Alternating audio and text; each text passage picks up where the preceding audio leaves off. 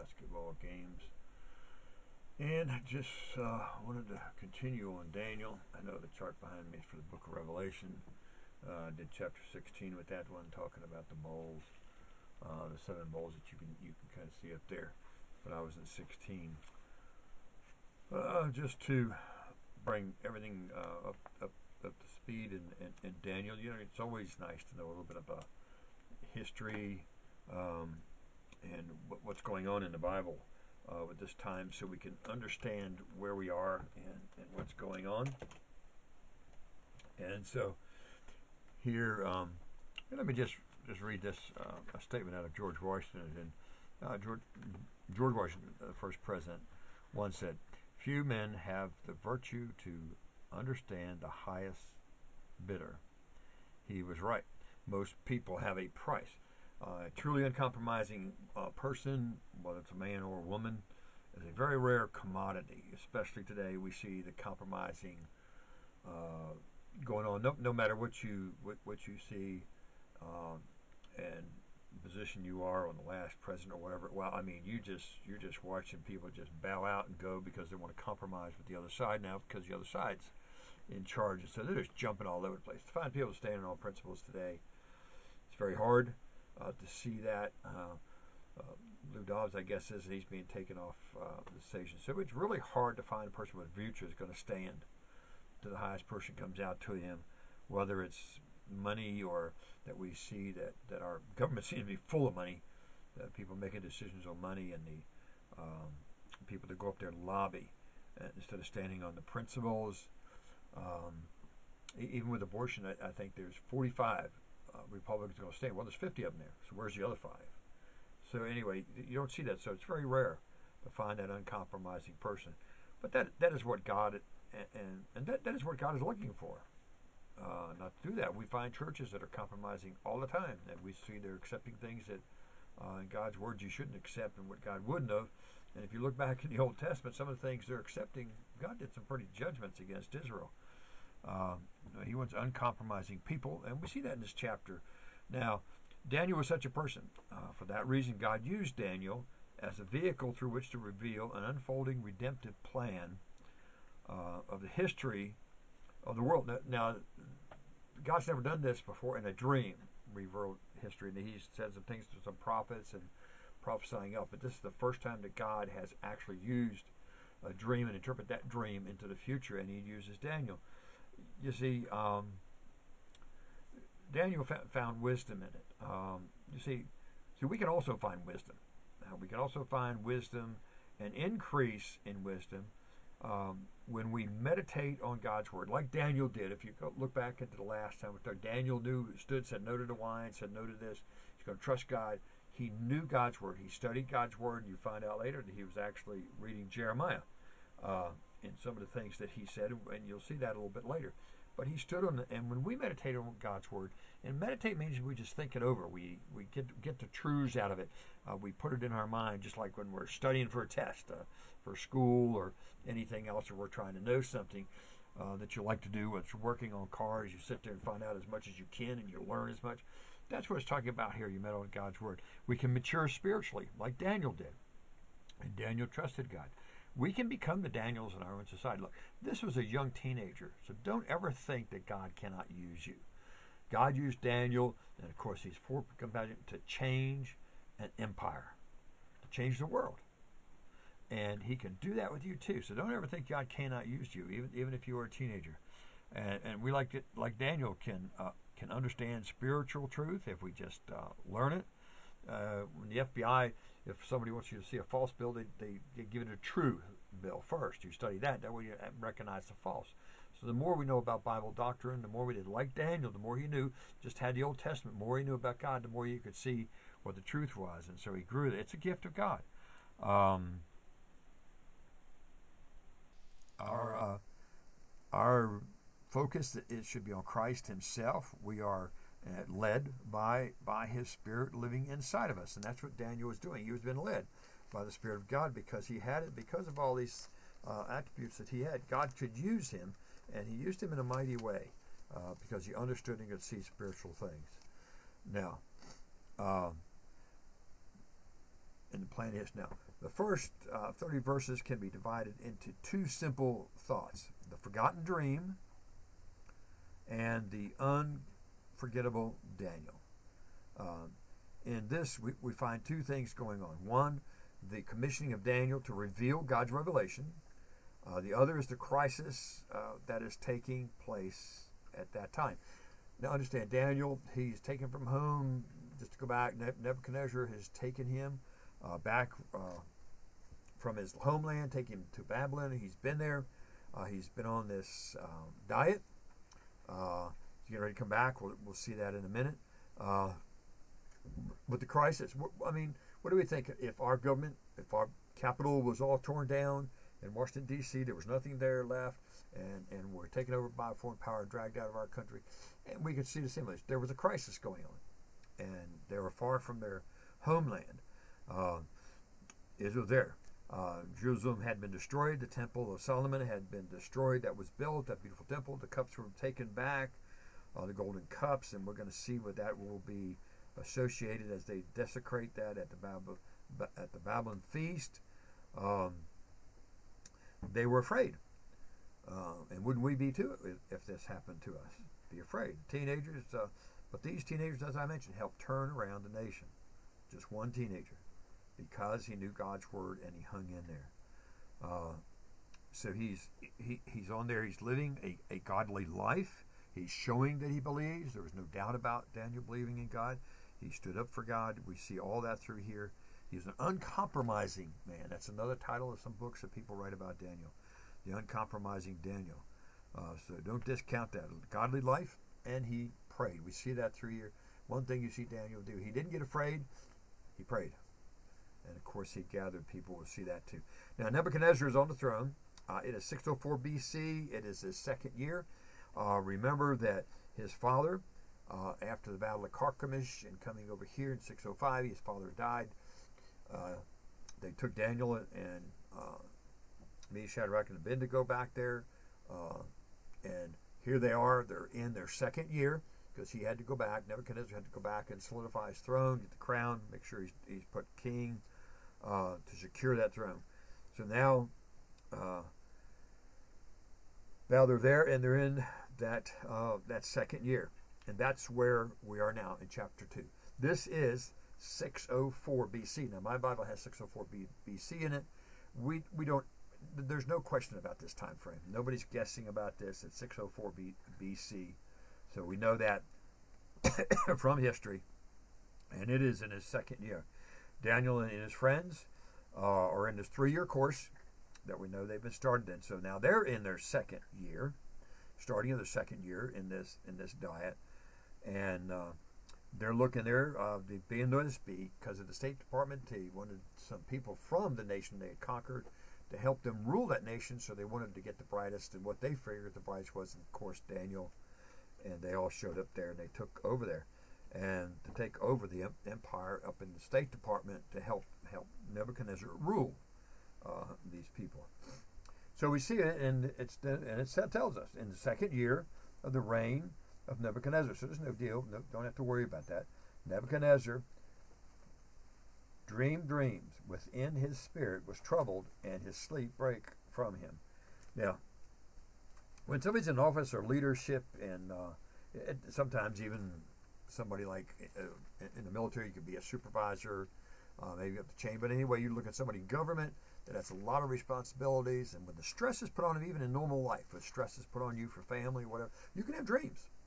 And so sometimes those dreams are, are, are very unsettling, and that uh, and it can keep us awake. And it's hard to go back to go, hard to go to sleep, or even go back to sleep if once we wake up.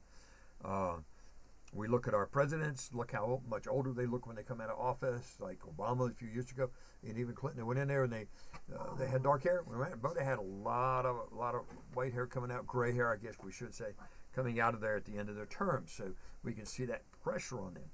Um, and so um, we think we, we, we, take our beds to problem, take our problems to bed with us. We, we think we can solve them. We start to try to solve them ourselves, and before we we know it, we woke up. That has happened to me. I, I all of a sudden I'm, I'm ha- with things, and all of a sudden, wow, here's morning already. And I say, Lord, I, I need to get a couple hours sleep, at least before I get up.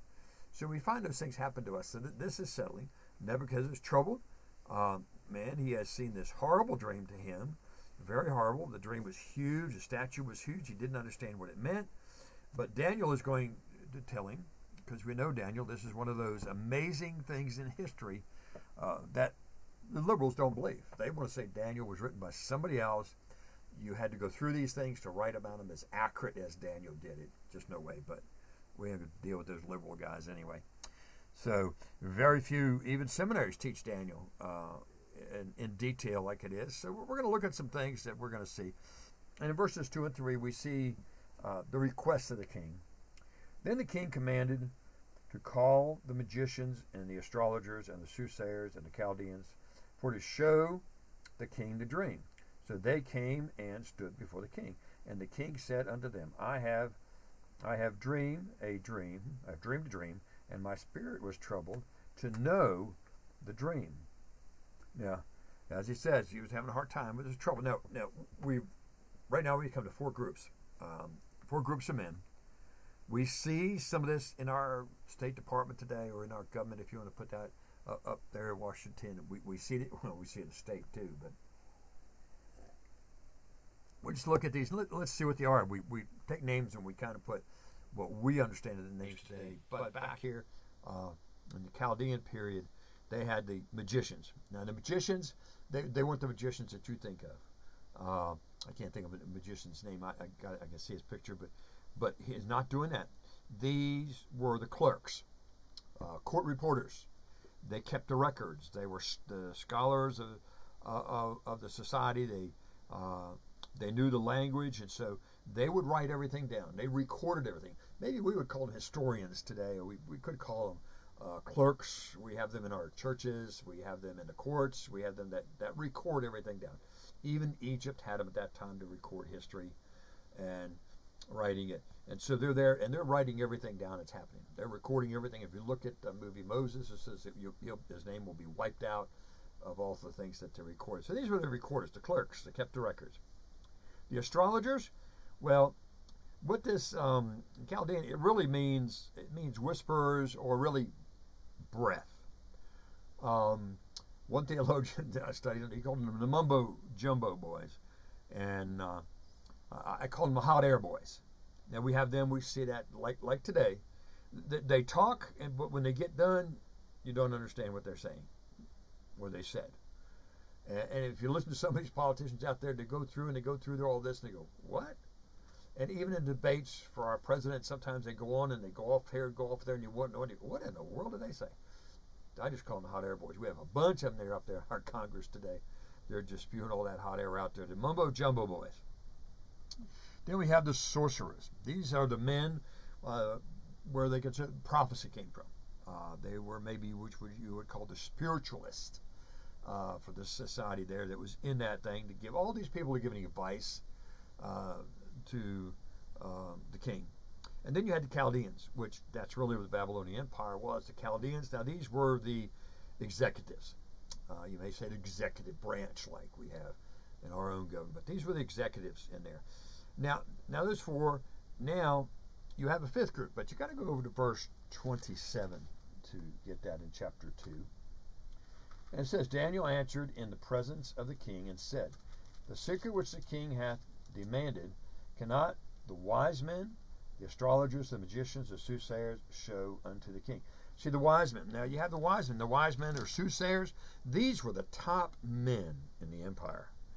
Now, um, also, uh, I'll, I'll, mention it later on. Either. Remember, this is where the wise men came to see Jesus about 18 months after he was born in the house. So that's where they came, came from. These these really were the top guys uh, in the empire that had the, had all the real influence on, on the king there and there. So now in verse four, they they spake the Chaldeans to the king in Syriac. Now, all that means is, is you're, you're getting grammar change. From that word Syriac, where the grammar changes, is written in Arabic all the way to chapter 7, verse 8. Aramaic, I'm sorry. I pronounced it wrong. Aramaic. Now that that's a hard language to do. The symbol is going to cuneiform that they had to do up there, the magicians and the cuneiform that they did and everything. That was a tough language. That was. But from here to chapter seven. Now, one of the reasons that is is because this this part of the Daniel is written to the Chaldeans. Now, now Jewish people were interested in it, but uh, it was written to them specifically, and then the other parts was written in Hebrew for the Jews. And, and that's good to understand where it is because you see that break when people say, What was the Bible written in? Well, it was written in Hebrew, Aramaic, and Greek. Those are the three languages. So that's why that was written there because it was mainly to them, even though the Jews would become interested. We still have uh, what's what is going on in there. Okay, let me read all the way to verse 5 and start in verse 3. And the king said unto them, I have dreamed a dream, and my spirit was troubled to know the dream, or understanding it. Then spake the Chaldean to the king in Syriac, which is, like I say, Aramaic, O king, live forever. And they always say that. Uh, if they didn't, you probably get, get your head handed to you. Tell the servants the dream, and we will show the interpretation. The king answered and said to the Chaldeans, The king is the thing is gone from me. If ye will not make known unto me the dream, with the interpretation thereof, ye shall be cut in pieces, and your houses shall be made a dunghill. Now, the thing is gone from me. Now, let me throw something out there, and it, it's pretty common now. Uh, it, it, probably wasn't taught years and years ago that, that he did forget it, but I don't think Nebuchadnezzar forgot the dream. Nebuchadnezzar had not forgotten his dream. But really, what he done, he had lost faith in the people of his government. And let me just stop you, folks. We need to pray for our government. If any time we need, as Christians and as people, to be praying for our government, we need to pray for our government now. They are at the lowest, at the lowest in trust. Even some of the medical fields that we have had sitting up there uh, with Fauci, you know, there is so many people that do not believe what is being said. Our government is really one that people do not believe in anymore. And we need, we are in troubled times. And we need to be praying for our government. We need to stop to do that. The same thing was happening here. He had no trust in his people around him. And so he didn't have trust in his government. He knew that he, if he could give them time, uh, that if he told them really the content, that in time they'd come up with something. He knew that. He, he, he, would, he wasn't going to believe it. That's why he didn't do it. He said, I don't trust you guys. If I give you something, you're going to, you're to come up with some explanation for this. Uh, you know, and I've always told people if I don't know what you're asking me in the Bible, I'll go research it and come up with an answer for you. I just won't give you something off the top of my head uh, that may not may not be valid. So he he knew if he did that and that they'd come up. So he he says, I am not going to play into your hands. I'm not going to play into their hands. I've given you an order. Tell me the dream. Tell me the content of the dream and the interpretation of the dream. I'm not playing with you. I'm not going to give you any parts. I'm not playing into your hands. I've given you an order. Tell me the dream. Give me the content and interpretation without any information. Then I will believe you that you actually are the leaders that you say you are. You're in touch with the astrologers. You're in touch with God. You got your prophecy. Come on, give it up to me. Come on, wise man. Let, us get here. You're, you're, telling me all this stuff, so I'm going to give it to you. And in verse five, and the king's and the king answered and said unto the Chaldeans, the thing is gone from me. If ye will not make known unto me the dream, with the interpretation thereof, ye shall be cut to pieces, and your houses shall be made into dunghill. They're going to kill him. Destroy their houses. They're, he's going to kill them. If you don't do it, I'm, I, I will kill you if you can't tell me. Then let's look at verse 6. But if ye show the dream and the interpretation thereof, Ye shall receive of me gifts and rewards and great honor. Therefore, show me the dream and the interpretation thereof. Tell me what it is. Tell me what it's about. If you do, man, I'm going to give you everything. See? But he had lost confidence in his government. And if, uh, and think about every, every, every Christmas then. Nebuchadnezzar had lost faith in his government. That's why he, he, he was training Daniel. Think of that's why he was training Daniel in them and the others to take over the government, the leadership in a new government. he didn't trust these folks. And so he gets Daniel and all these other boys, not just his four groups, there's other ones, so they could help him rule. He didn't trust them. And he wanted new individuals in there. He wanted new people in there. And just like our government today, maybe we need all new people in a lot of our government positions today. Maybe that would help us to get out of some of the crisis we're doing and, get rid of some of these mumbo jumbo boys. We need new people. And so he's doing this. He's trying to train these kids to take over and help him rule the, the government so he could find someone he could trust. And that's what we need to do too. He lost confidence, so he says that. But if you can do it, I'm going to give you. I'm going to give you great treasures. You know. And later on, we see Daniel does. Verse seven. They answered again and said, Let the king tell his servants the dream, and we will know the interpretation thereof. They knew that there was no way they were going to come up with this dream. I mean, these guys weren't done. They knew they weren't, so they kept pressuring him, trying to actually trick him into telling them. Uh, they didn't have a corner on divine truth at all. Nebuchadnezzar said he knew they would come up with something if he told them with a dream. And God is going to reveal the content and the interpretation to Daniel a little bit later. Why? Because I mentioned before him, Daniel meditated on the Word of God. Daniel studied the Word of God. Daniel wanted to know. He spent time in prayer to know God, and God knew that he could he could count on Daniel because he was committed to serving the Lord. You see, that's what we need to do too, serving the Lord, not ourselves.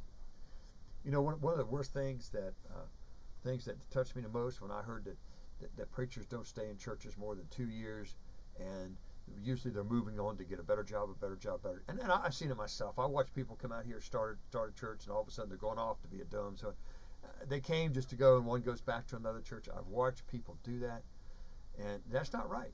Daniel wasn't that way. He come to serve God, and wherever God put him, he was going to serve.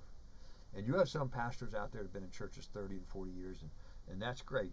But to move on, and most times they said in, and one of the surveys taken says, why do you move? And it's usually for a better paying pastor position.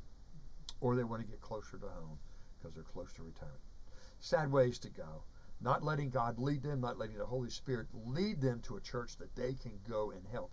It's all about themselves and bettering themselves. And that, that's just sad. But Daniel was not that way. God knew he could depend on Daniel, that Daniel was going to would do what he uh, wanted him to do.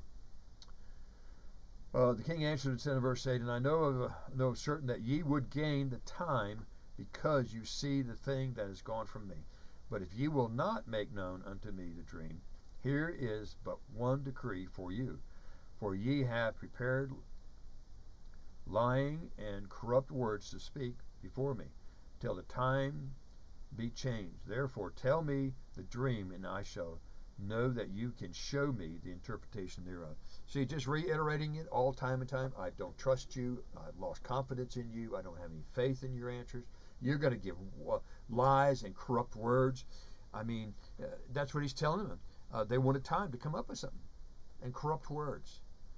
I look what's going on in our media and and and and, and congressmen and all that. And you know, the weird thing is, well, uh, these politicians lie, but we elect them even though they lie. We know they lie. Why do we do that? We've accepted that they lie. And here, King back there didn't want their lies. But yet we accept it today. We go, oh, well, the president's not going to do what he said he'd do. That the congressman's not going to do. That rep, uh, House representative going to do. Oh, they, they just talk. They, they, they, they just lie to us. And yet we, we elect them anyway. I don't know. Maybe there, maybe there's something wrong. Maybe that's why our government is, is, is sucked up there and we can't trust them. We can't believe what they say uh, because we've caught them in so many lies, even our news media, uh, all over our news media. Uh, we, we see our news is, is, is so fabricated in many cases, leaning one way or the other, doesn't tell us the whole truth, only tells us parts, only shows us.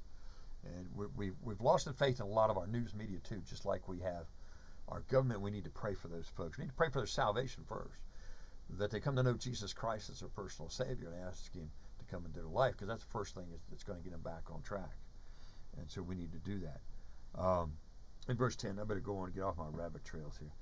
The Chaldeans answered before the king and said, This is not a man, there is not a man upon the earth that can show the king's matter. Therefore, there is no king, lord, nor ruler that asks such things. No, there, there's no king nor ruler would ever ask this kind of thing because nobody would ever know such things at any magician or astrologer or Chaldean. So he was right. That's one, one thing they were right about. There's there's nobody going to. Only God can do that. Um, no man is going to be able to tell the king. Uh, no man can do uh, what you want. He's saying what you're asking. No man can do that. And like I said, they were right. You see, we depend on earthly human wisdom. wisdom. Most of the time, you're going to get the wrong answer. You see, uh, people go to psychiatrists, they go to astrologers, they go to mediums, they uh, uh, people tell the fortune. They got all these people trying to get answers, and they don't have them. Now, there's nothing wrong with Christian counseling and stuff like that. Well, we depend on that totally. We could come up because I've heard about some Christian counseling, and there's some pastors around here too that, wow, where in the world do they ever get that from? But secular counseling, all that really cannot solve our things. And when we really look for that, it's not going to work. Horoscopes and stuff like that is not going to work. Crystal balls um, is isn't going to do any, anything like that that we have. It's not going to give us. We're going to end up with the wrong answer. As Christians, we we get our answers from the Word of God. So that's why you should you should be here. You should be in church. You should be in Sunday school classes. You should be studying the Word of God on your own. Uh, when the doors are open, you need to be in the church because of that, because that's where we're going to get when we know the Word of God. We get our answers from three sources. The Word of God I just mentioned. That's one way we get it. We learn this like Daniel did. We come, we get wisdom. We grow maturely, uh, spiritually, and we can understand the truths and we can see what's wrong because we know the truth. The second is the indwelling Holy Spirit.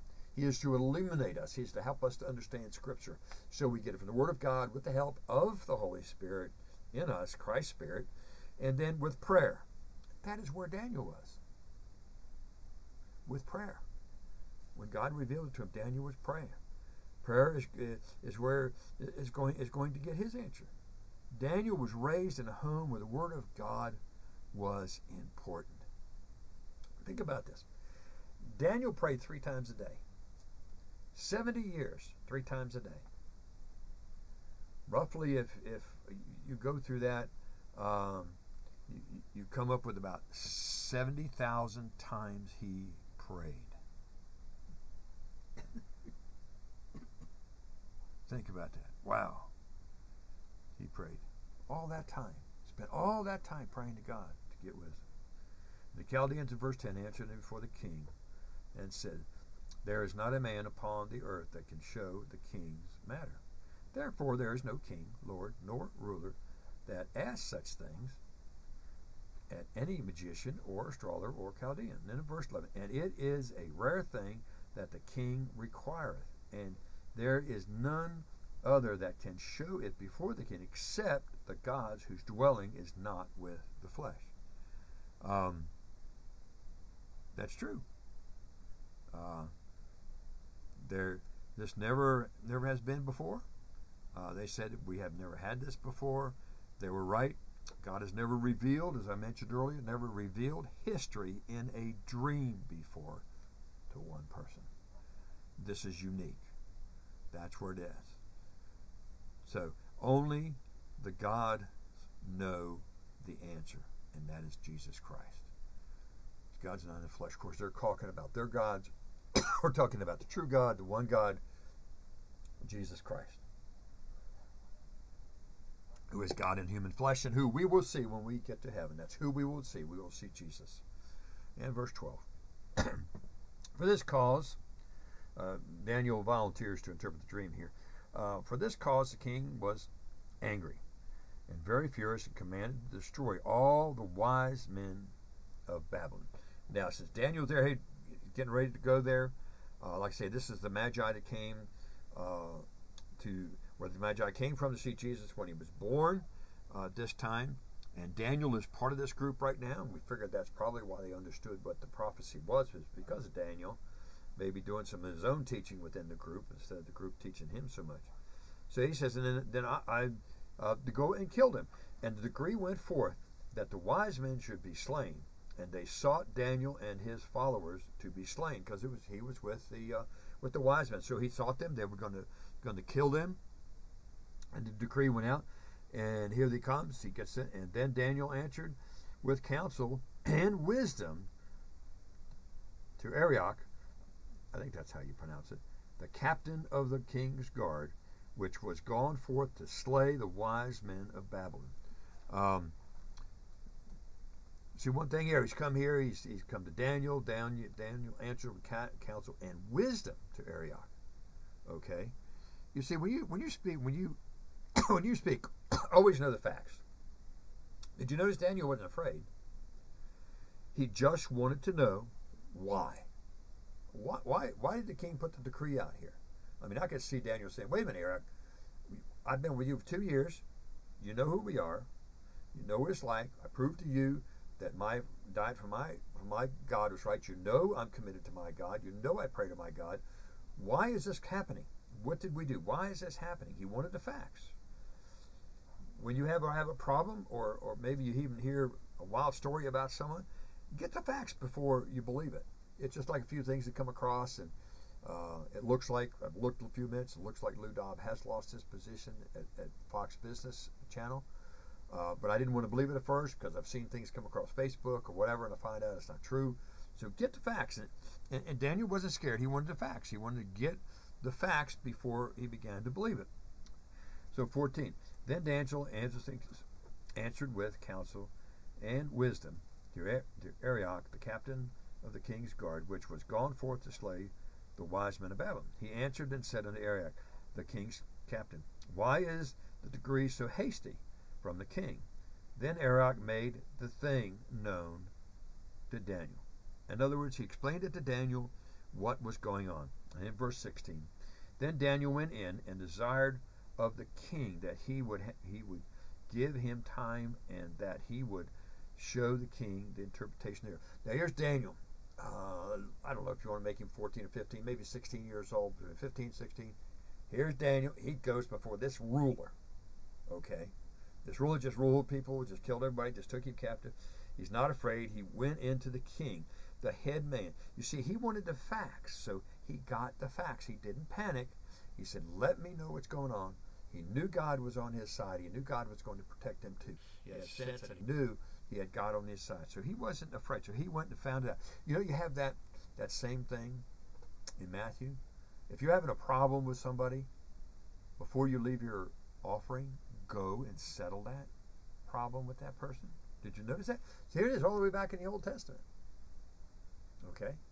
But he goes against the facts. So before we decide to say something about something, maybe we ought to know the facts about things. We get caught up in that. I've gotten caught up in that. Everybody has. It's, it's just a common thing that happens to us uh, because of our emotions or what we don't think. But we need to get the facts before we decide something. And so Daniel to, and he went to the head man. He says, "I got a problem. I got a problem with you, king. Why, why do you want to kill me?" He explained to me that these uh, people can't do that. So I, I'm here to, uh, to, to, to, doubt it, to solve, to solve this problem. I want to face it. I want to face it head on. So Daniel, in verse six, then Daniel went into a desire of the king, what, what that he would give him time, and that he would show the king the interpretation there. Now, if you notice that the king says, "Okay," did you notice that? The, the other ones he said, "No, I'm not giving you any time." So you see how God was working, protecting Daniel. He gave him the braveness or the commitment to go to him, go to the king, tell the king. And Daniel made no bones about it. I, I, if you give me time, I'll do it. And the king knew because God was working on the king's heart. He wouldn't do it through the other ones, but he did it with Daniel as he goes in and he meets the king. You see, one, always be willing to wait on God. You know, Daniel didn't say, I'm going to give you the answer tomorrow. No, he says, give me time. Doesn't say how much time. And it doesn't sound like it when we get the other scriptures here that it took too long. I don't know how much time. I can't find anybody tells me how much time, and I haven't read everybody. I got a new book, but I don't think if there's if there's a time difference, I'll let you know. But it's almost like it was the same day that he went from there. You see, Rosie died. Everything we wait on God. Okay? We wait on God. We need to learn to do that. Daniel gets all the facts that he could. That's what he wanted to do. Daniel prayed. He laid it before God. He says, I can't solve this problem, Lord. I can't do it. I lay it before you. And he and then what does he do? He shares it with his friends. Remember, one, two, or three gathered together. He shares it with his friends with prayers. Um, is, is what he does in it. And I will show the king, verse 17. Oops.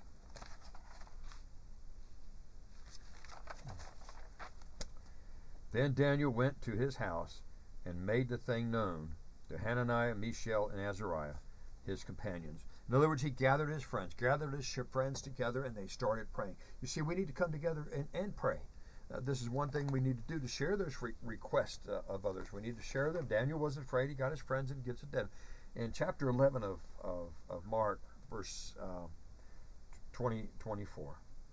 Therefore I say unto you, what things soever ye desire, when ye pray, believe that ye receive them, and ye shall have them. He believed. He believed God was going to answer his prayer. There was nothing. He prayed with faith.